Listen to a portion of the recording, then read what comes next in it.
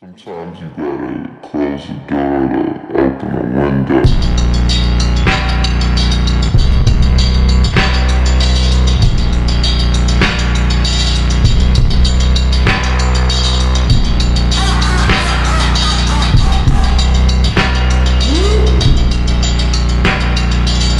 I saw a photo you looked